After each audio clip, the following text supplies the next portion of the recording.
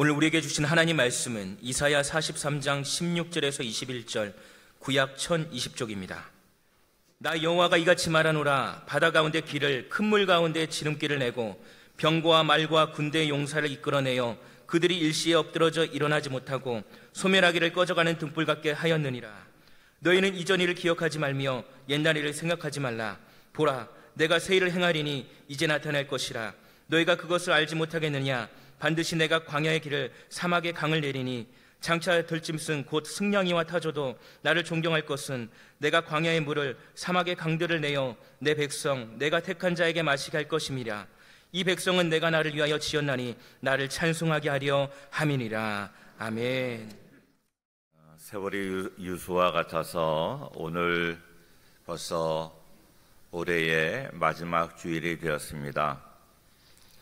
진부한 표현 같지만 정말로 다사다난했던 2019년도가 이제 저물고 있는데 지난 한 해 동안 지켜주신 하나님의 은혜를 생각하며 정말로 하나님께 영광 돌리고 또 하나님이 저희를 귀하게 보셔서 어렵고 험난한 세상에서도 우리 지금까지 인도하여 주셨습니다. 연말이 되어서 각 지역에서 10대 뉴스를 발표하는 가운데 아, 우리 지역의 뉴스는 무엇인가 생각해 보았습니다. 무엇보다도 송림초등학교 주변 주거, 환경 개선 사업이 올해 1월 7일부터 시작된 것입니다. 송림동 일대 7만 2,666 제곱미터를 아파트 단지로 개발하는 그러한 사업입니다. 인천도시공사는 지난 5월에 송림초등학교 주변 지역 주거 환경 개선 사업 아파트 건설 공사를 위한 착공 신고를 완료하였습니다. 그리고 5월 20일 사업 관계자가 참여하는 착공 간담회를 개최했습니다. 예, 주거 환경 개선 사업은 대우건설이 시공사로 참여하게 되었고 송림동 185번지 1원에 2022년 4월까지 2,562세대 규모로 어, 공동주택 근린 생활 시설을 조성하는 사업으로 동구의 랜드마크가 되어서 원 도심 활성화에 기여할 것으로 기대가 됩니다. 이제 저렇게 멋있는 어, 아파트 촌이 될 거라고 생각을 하니까 마음이 두근거립니다. 이렇게 마음이 감동이 되기도 하지만 한편으로는 이제 우리 교회의 모습이 그 아파트에 가려서 잘 보이지 않을 것 같은 그런 안타까움도 있습니다. 이 주거 환경 개선 사업은 공공 지원 민간 임대주택과 연계한 사업 방식입니다. 미분양 리스크를 해소하고 사업성을 개선시켜서 원도심 재생 사업의 선도 모델로 성공적으로 지금 추진되고 있습니다. 영구 공공 임대 167세대 그리고 청년 신혼부부 등 특별 공급분 약 300세대를 주변 임대료 시세보다 15% 낮춰 공급해서 사업의 공공성을 강화하였습니다. 그간 임대 사업자가 교체되는 등 많은 사업 추진에 난항을 겪었지만 민간 임대 사업자의 출자를 통한 사업 구도로 재편해서 사업이 정상 궤도에 올라서게 되었습니다. 주민과 원활한 합의를 이뤄내어서 철거 공사를 조속히 마무리하였고 도시공사 관계자는 착공 간담회에서 고품질의 아파트 건설을 위한 철저한 품질 관리와 건설 재해 예방을 위한 안전 관리 강화를 위해서 최선의 노력을 다할 것과 지역 건설업체와의 참여와 자재 사용을 적극 독려해서 지역 경제 활성에 기여할 것을 이제 약속하기도 하였습니다. 아, 작년 우리가 아, 송구영신 예배 또 신년 예배 때 이 지역이 개발될 것을 기대하면서 부푼 마음으로 어, 기도하고 또 우리가 감사했던 그런 기억이 있습니다. 1년 동안 사업이 잘 진행이 되었습니다.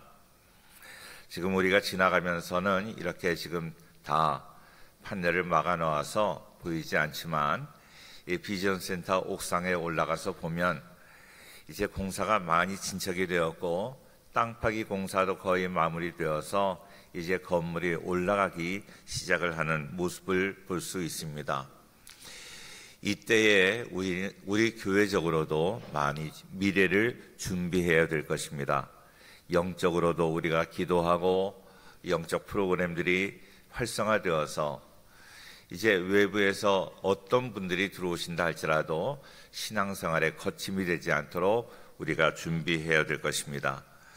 하드웨어도 우리가 교회의 모습도 이제 아름답게 또 교회 시설도 아름답게 다 바꾸고 또 새롭게 해야 예, 많은 그런 분들이 이제 교회에 오셔서 신앙생활 할 때 거침이 없게 될 것입니다.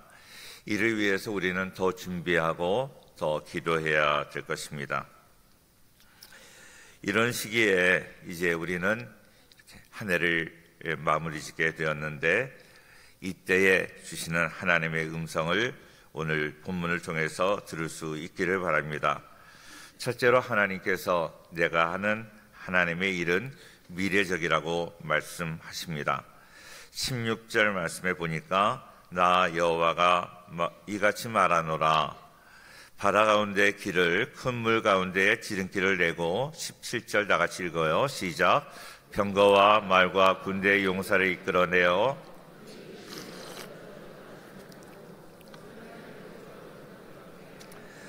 자, 그렇게 말씀합니다. 지금 이 시대도, 어, 우리가 사는 이 시대에 정말로 정치적으로도 사회적으로도 경제적으로도 군사적으로도 외교적으로도 너무나 어려운 시대에 살고 있습니다.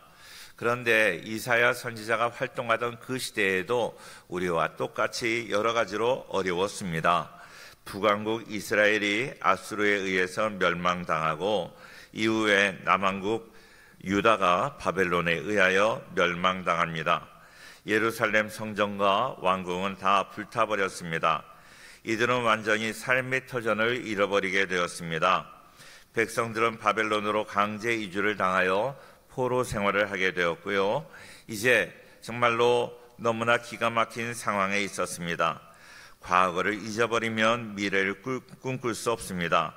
그런데 하나님께서는요, 과거에 매이지 말라고 말씀하신 후에 이어서 놀라운 것을, 놀라운 하나님의 일을 기대하라고 권면하고 있습니다. 19절 말씀해 보니까 보라 내가 새 일을 행하리니 그랬습니다. 하나님께서 새 일을 행할 것이다.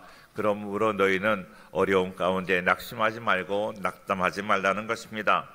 새, 하나님은 새 일을 행하시는 분인데 그 새 일은 과거에 없었던 새로운 일을 말합니다. 우리가 지금까지 감히 상상하지도 못했던 그런 일을 말하는 것이죠. 구체적으로 하나님께서 행하실 새 일은 광야의 길을 만들고 사막의 길을 사막의 강을 뚫는 것입니다. 이러한 일은 인간이 할 수 없는 그러한 일들을 하나님이 하시겠다는 그러한 의미입니다. 오늘 19절에 보라 내가 새 일을 행하리라 그랬는데 그 말은 세 가지 의미의 예언적인 말씀입니다. 첫째는 예수님께서 인류 역사 속에 오셔서 메마른 광야와 같고 사막과 같은 우리 세상에 우리 예수님이 생명의 물 영원한 은혜의 강물이 흐르게 하시겠다 하는 그런 말씀입니다. 메시아 되신 우리 예수님께서 오셔서 우리 이 세상을 통치하여 주시겠다는 그런 말씀입니다. 이 세상 절망 가운데 있는 세상에 소망을 주시겠다는 것이죠. 두 번째로는 이스라엘 백성들이 하나님의 말씀을 어기고 징계를 받아서 이방으로 흩어지고 광야에 흩어져서 온 땅의 부끄러움과 수치를 당하게 되는 이때에 그때 하나님 앞에 그들이 회개하고 어, 부르짖으니까 하나님께서 그들의 그들의 부르짖음을 들으시고 회개를 받으셔서 그 나라를 이스라엘을 다시 회복시켜 주시겠다는 그러한 회복의 예언의 말씀입니다. 세 번째로는 예수님을 통해서 개인의 변화를 미리 말씀하신 것입니다. 예수 믿는 사람은 이미 구원을 받고 하나님의 은혜를 받았는데 이제 그 사람들이 하나님께 기도하고 하나님께 회개함으로 그 나라가 회복될 뿐만 아니라 개인의 삶도 하나님께서 축복해 주시겠다는 그러한 이야기입니다. 미국에 가보면 미국에 가면 아, 미국은 정말로 초강대국이구나 부유한 나라구나 하는 것을 느끼게 됩니다. 그런데 그렇게 부유한 나라이고 초강대국인데도 불구하고 미국에도 거지가 있어요. 집이 없어서 이 길에서 어, 잠을 자는 그런 홈리스들도 있습니다. 자, 어떤 분이 그런 이야기를 해요. 미국 가니까 미국 거지들은 담배도 양담배를 핀다. 그렇지만, 그렇지만 미국에도 어렵게 살아가는 사람이 있다는 거예요. 나라는, 나라는 초강대국인데, 나라는 초강대국인데, 개인적으로는 어렵게 살아가는 사람이 있다는 거예요.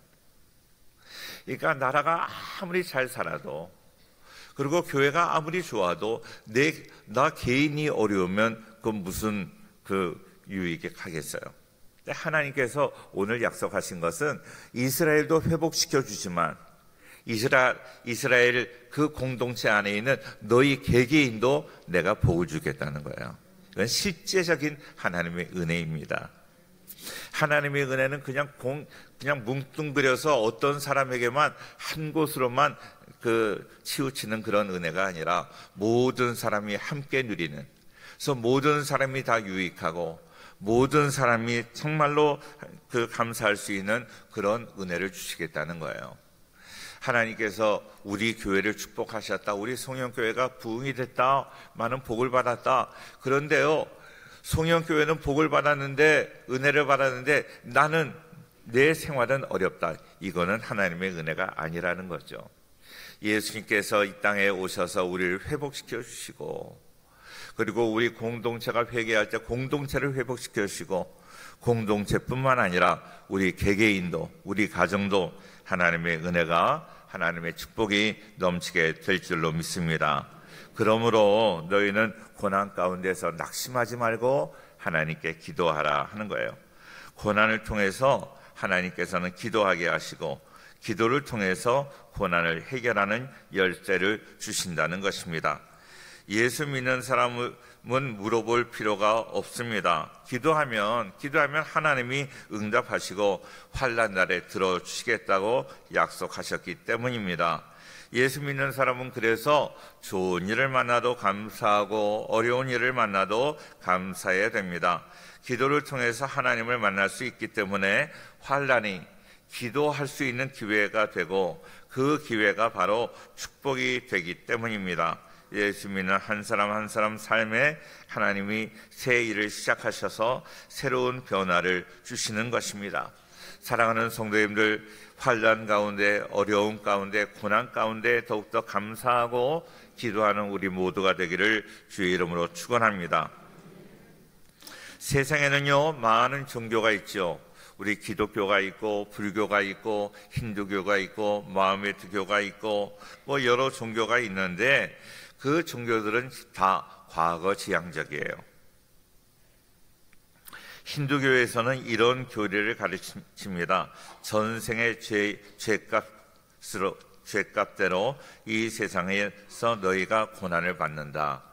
너희는 이전에 너희가 세상에 살면서 죄를 지은 그것대로 너희가 세상에서 고난을 당한다는 것입니다. 인과 응보의 교리를 가르치고 있습니다. 이 교리에 의하면 과거에 잘못한 사람은 현재도 미래도 없는 것이에요. 너, 너희가 과거에 잘못한 그 죄로 인하여 현재도 고난을 받고 그리고 미래에도 고난을 받겠다 하는 것입니다. 그런데 사람이 죄 없는 사람이 어디 있어요? 우리는 죄 가운데 태어났기 때문에 다 죄인이고 다 우리 예수님이 아니면 용서받을 수 없는 그런 죄인들인데 어떻게 우리가 이 세상을 살아갈 수 없어요? 자, 그래서 힌두교회는 앞날에 대한 미래에 대한 희망을 가질 수가 없다는 것이죠. 불교에서는 우리가 잘 아는 대로 닐바나, 닐바나라고 하고 또 열반이라고도 이렇게 번역을 하는 교리를 가르칩니다. 열반의 세계는요, 욕망을 우리의 마음에서 완전히 없애버리면 어떤 생각과 유혹에 흔들리지 않는다 하는 것이에요. 그러니까 너의 삶에 욕심을 다 없애버리면 유혹에 흔들리지 않고 정말로 이 세상에서 극락 세계를 우리가 누릴 수 있다 하는 거예요. 그래서 욕심을 다 없애야 되는 거예요. 그런데 살아있는 사람이 어떻게 욕심이 없어요? 욕심이 없는 상태가 있어요. 죽으면 욕심이 없어져요. 그러니까, 그러니까 죽어야 돼, 죽어야 돼요. 승려들은요, 승려들이 죽으면 뭐라고 그러는가 하면 입적했다고 그래요. 입적했다. 죽어야 죽어야 뜻을 이룬다는 거예요. 죽어야 욕심이 없어진다는 것입니다. 그런 이야기는 누구나 다 할 수 있는 그런 운명론입니다. 무슬림에서는 우리가 당하는 고난을 알라신이 알라신이 정해준 그런 너의 운명이다. 네가 당하고 있는 고난은 너의 운명이다. 알라 신이 너를 그렇게 만들어 주었으니 불평하지 말고 그대로 받으라는 거예요. 알라 신이 우리의 운명을 결정했다는 것입니다. 그러면 우리가 아무것도 할 일이 없어요. 내가 열심히 일해서 내 인생을 개척하고 내가 더 행복하게 살기 위해서 노력하는 거 아무것도 없다는 것입니다. 현대 에피큐로스 학파가 있는데요. 그들은 쾌락주의를 주장하고 있습니다. 우리가 당하는 고난을 쾌락으로, 쾌락으로 이겨야 된다 하는 거예요. 현재의 고통을 잊을 수만 있다면 무슨 방법을 써서라도 망각해버리자, 술을 마시자, 쾌락에 빠지자, 무엇을 하든지 잊어버리고 넘기면 그것이 가장 지혜로운 삶이라고 가르치고 있습니다. 그러나 우리 기독교는 과거의 아픔과 현재의 고난을 해결하기 위해서 발버둥 치는 다른 종교와 달라요. 과거와 현실에 얽매여 있지 않습니다. 이제 예수님을 믿으면 우리에게 소망이 생기는 거예요. 우리는 하늘나라의 소망을 하나님이 주셨어요. 하늘나라를 향해서 나아갈 때 이 땅에서의 우리의 현재의 삶도 더욱더 아름답고 기름진 삶이 되는 줄로 믿습니다. 우리 사랑하는 성도님들 미래를 향하여 미래를 향하여 하늘나라의 소망을 가지고 살아가는 우리 모두가 되기를 주의 이름으로 축원합니다. 현실 도피하라는 이야기가 아니에요.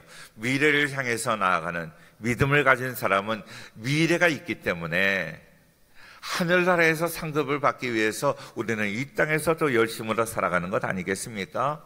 미래를 향하여, 향하여 사는 우리들, 더 현재에도 성실하게 살아가는, 충실하게 살아가는 우리 복된 성도들 될 수 있기를 주의 이름으로 축원합니다. 할렐루야. 두 번째로 하나님의 일은 역전시키는 역전되는 일입니다. 19절에 보라 내가 새 일을 행하리니 이제 나타낼 것이라 너희가 그것을 알지 못하겠느냐 반드시 내가 광야에 길을 사막에 강을 내리니 20절 말씀 같이 읽어요. 시작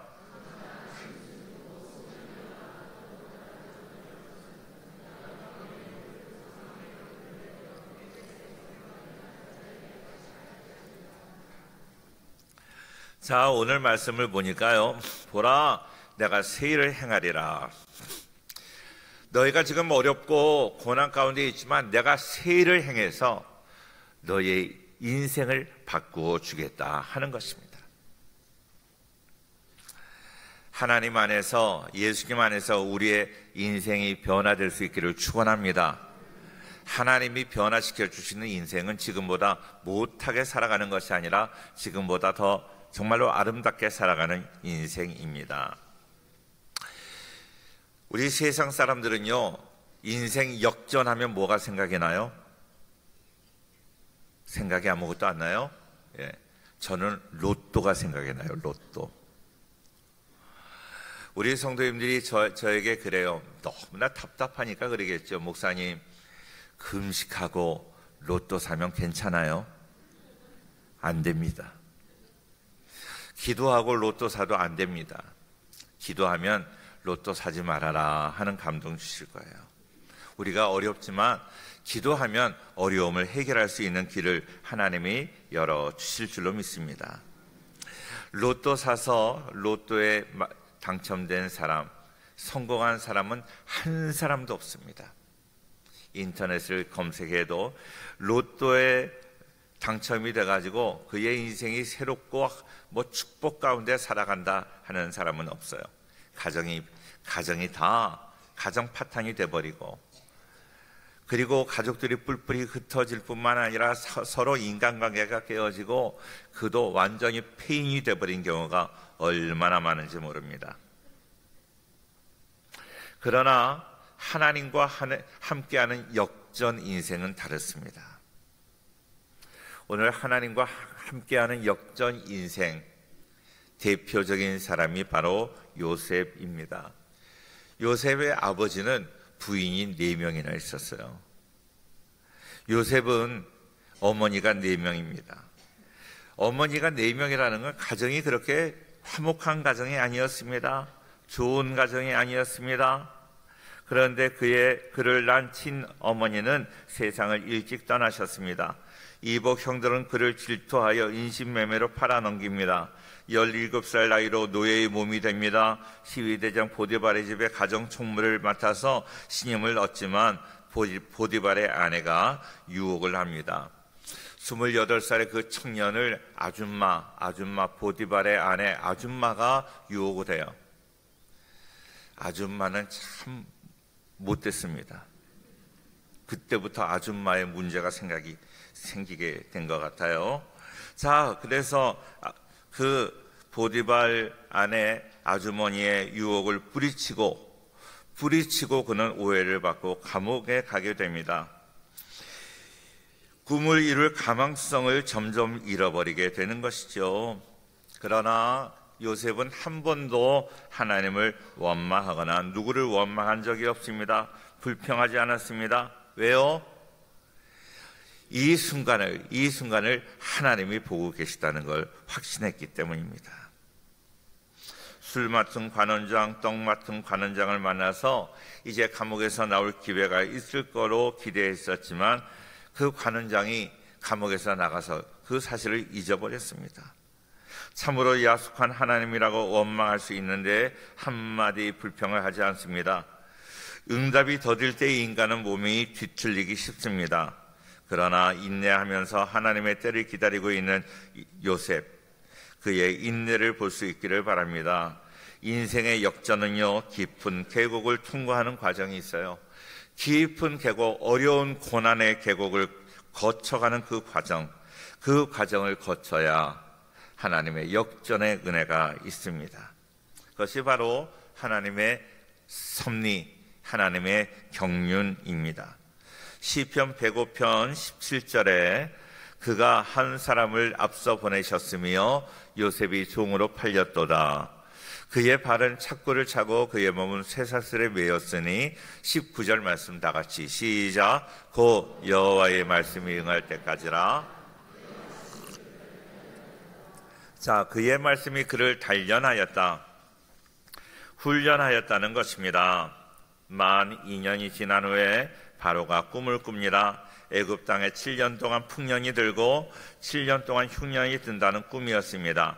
잊혀진 요셉은 꿈을 해석해서 애굽의 총리가 됩니다. 꿈, 꿈 때문에 고난을 받았는데 꿈 때문에 정말로 인생 역전의 꿈을 이루게 하십니다. 그때 나이가 30세였습니다.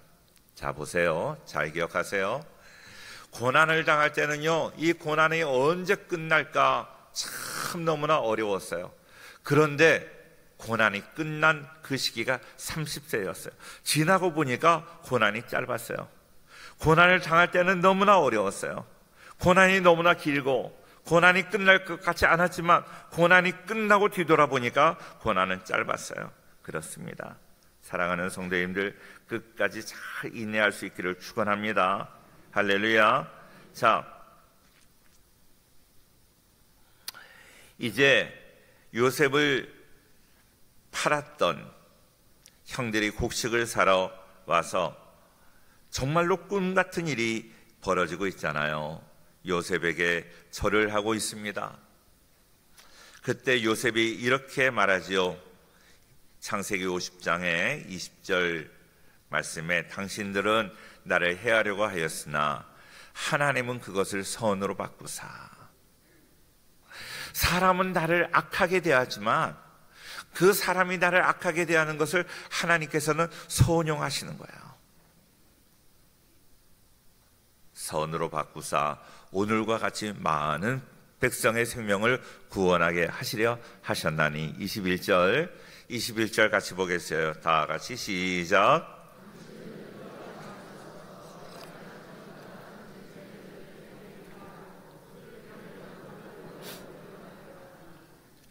마음에 괘씸해서 원수를 한번 갚을 만도 한데 그러지 않았어요. 하나님께서 자기를 그렇게 인도하셨다고 믿기 때문입니다.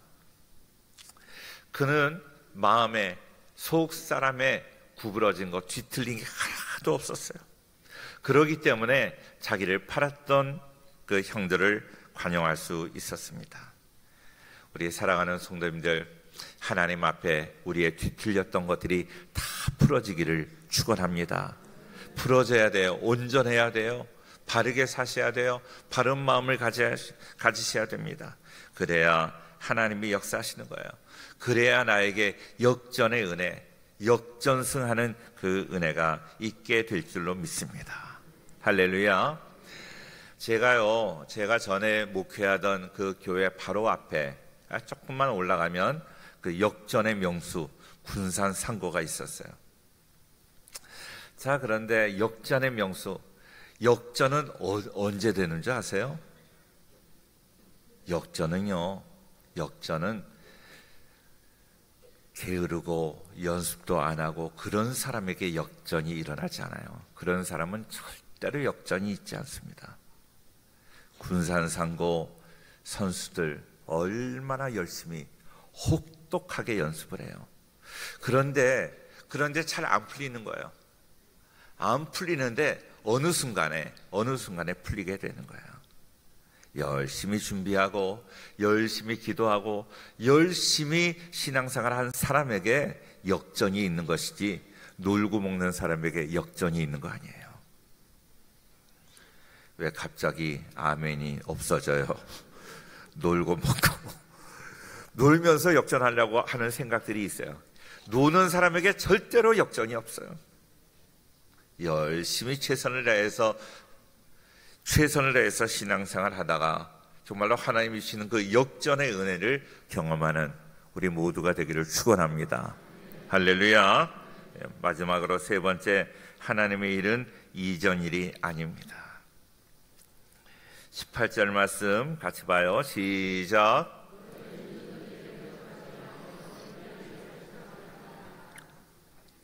과거에 얽매이지 말라 하는 것입니다. 과거에 얽매이면 새로운 삶을 시작할 수 없습니다. 이전 일과 옛날 일은 이제까지 행하신 하나님의 역사입니다. 이스라엘 백성들은 하나님의 은혜로 430년 동안 종살이 하던 애굽에서 해방되었습니다. 배 한 척도 만들지 않았지만 그들은 하나님의 은혜로 바다를 건넜어요. 가나안에 들어가기 전까지 광야 생활 40년 동안 하루도 빠짐없이 하나님의 은혜를 경험했습니다. 그런 놀라운 일들이 있었는데도 하나님께서는 그 일을 다 잊어버리라 기억하지 말라 하나님의 하나님에게 배움망덕해라 하는 말씀이 아닙니다. 내가 이전에 많은 은혜를 받았지만 은혜 그 은혜에 함몰되어 있으면 앞으로 나갈 수 없다는 거예요. 내가 10년 전에도 은혜를 받아야 되지만 지금도 은혜 가운데 있어야 돼. 지금도. 사랑하는 성도님들, 우리가 흔히 주변에서 그런 얘기 듣잖아요. 내가 왕년에 뭐 해봤어. 내가 왕년에 이랬다. 근데 그런 얘기 하는, 하는 사람들 별로, 별로 그렇게 하나님의 은혜를 경험하기 어렵습니다. 왕년에 내가 큰 일을 했어도 그거 자랑하지 말고 앞으로 하나님께서 나에게 베풀어 주실 그 은혜와 복을 기대하는 우리 모두가 되기를 축원합니다. 대나무는 길어요. 옛날에 우리 집에서 대나무에다가 태극기 이 국기봉을 했던 기억이 있어요. 그 대나무는 긴데 대나무는 긴데 길지만 안이 텅 비어 있어요. 안이 텅 비어 있지만 그 대나무가 강합니다. 왜요? 일정 간격을 따라서 매듭이 있기 때문에 그래요. 매듭이 있어야 돼요. 2019년도 하나님께서 놀라운 은혜를 주셨지만 그거를 매듭을 잘 짓고 새해를 시작해야 또 새해 더 놀라운 하나님의 은혜가 임하게 될 줄로 믿습니다. 맨날 옛날에 뭐 어땠, 다 왕년에 어땠다. 하나님이 은혜를 주신 거 감사하고 감사하고 매듭을 짓고 이제 새해 주실 하나님의 은혜를 기대하고 믿음으로 앞을 향해 나아가는 우리 모두가 되기를 주의 이름으로 축원합니다. 새해는 더 놀라운 하나님의 역사, 더 놀라운 새 일이 일어날 줄로 믿습니다. 믿음 안에 살아가는 우리 모두가 되기를 주의 이름으로 축원합니다.